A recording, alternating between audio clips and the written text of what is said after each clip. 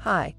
In this video, we will quickly overview BioGuard Soft Swim B Sanitizer. BioGuard Soft Swim B is the sanitizer that contains biguanide and is step 2 in the Soft Swim program.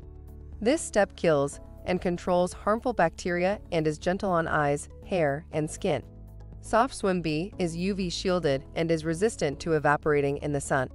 The Soft Swim program is ideal for in-ground or above-ground pools containing less than 25,000 gallons of water, pools that have bottom drains, and pools that have excellent circulation with the pump operating at least 12 hours per day. Product benefits kills and controls harmful bacteria and is gentle on eyes, hair, and skin.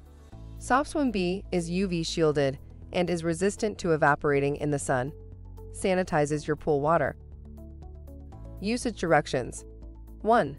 Backwash or clean pool filter. Check pool pH.